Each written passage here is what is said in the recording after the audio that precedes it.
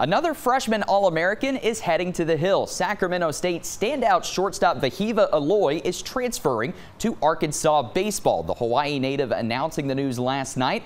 The Western Athletic Conference Freshman of the Year hit a whopping 376 for the Hornets, tallying 88 hits on the season, including 14 home runs and 46 RBI. He ended the year on an 11-game hitting streak.